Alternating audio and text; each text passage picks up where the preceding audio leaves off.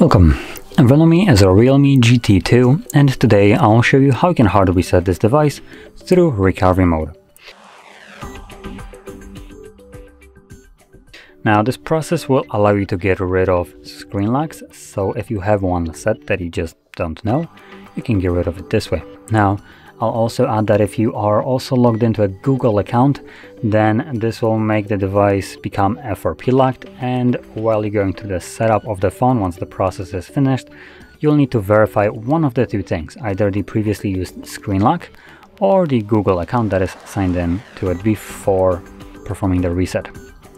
So just be aware of that. I'll be making also a video on how you can bypass this if your device becomes locked Obviously, uh, the easiest way is to verify it, but if you don't know, don't remember either of those methods, then I will, like I said, be showing you later on how you can completely get rid of it. Now this will be in a separate video, so if you're interested, uh, just look for that. Uh, but anyway, let's get straight into it. So I'm gonna unlock the device and I'll progress from the lock screen as though I don't know my pattern.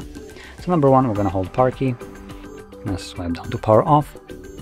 And once the device turns off we're gonna hold I believe it's volume down. So I'll find out in a second if I'm correct. Now I think that is the wrong button because I should have already booted into it. Oh there we go. So it was correct so as you can see it was power key and volume down now I did let go of the power button uh, once the Realme logo showed up, just because sometimes if you hold it for too long, this initiates a forced reboot of the device, so kind of defeats the purpose. So you want to also probably let go of that uh, power button, but keep holding volume down. From here, I'm gonna select our language, which I selected English, and from there you want to select format data. It generates some random code right here, a random number, so simply put it into keypad, it's just a confirmation. So 1143, select format, data formatted, so let's click OK. And this will automatically reboot the device and continue the process in the background. Now the device might be turning on for like a minute, two minutes.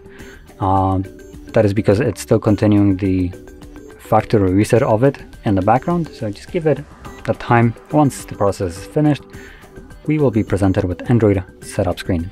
So I'll be back once that is visible for me.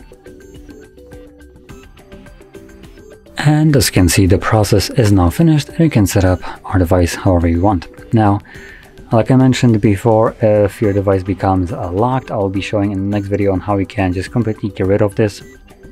So stay tuned for that video, which is basically what this device is for me right now. So anyway, if you found this very helpful, don't forget to hit like, subscribe, and thanks for watching.